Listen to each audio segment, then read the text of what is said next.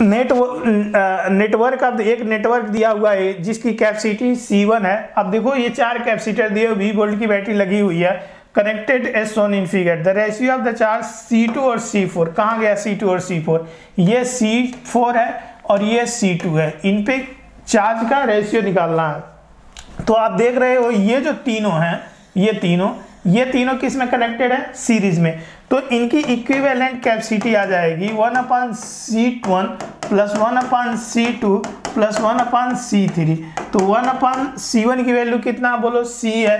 Plus one upon C two की value कितना है? टू सी है। Plus one upon C three की वैल्यू कितना है? थ्री सी क्योंकि मैं इनकी कैपेसिटी निकालूँगा तो जब इनको मैं जोड़ूँगा तो वन अपान सी इक्विवेलेंट आ जाएगा, वो आ जाएगा ये इलेवन अपन सिक्स सी मतलब सी इक्विवेलेंट इन सीरीज़ में आ जाएगा six C upon eleven this is the equivalent capacity अब इक्विवेलेंट कैपेसिटी यहाँ से हमें इतना मिल जा, मिल जाएगा।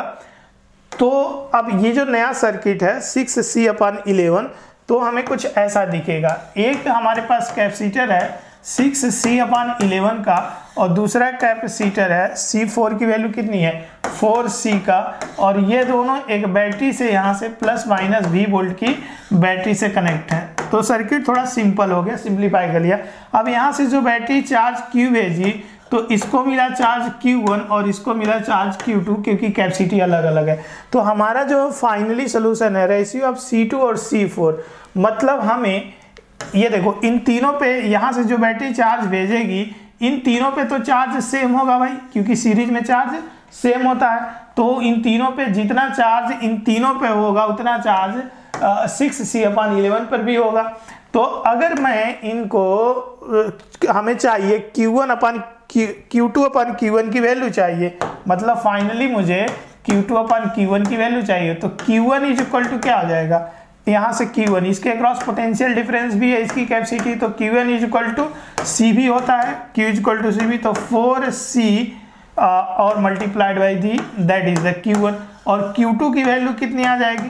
तो Q2 इसके अक्रॉस जो इस पर जो चार्ज है, इसकी capacity six C upon eleven और इसके अक्रॉस पोटेंशियल डिफरेंस भी रहेगा दोनों का।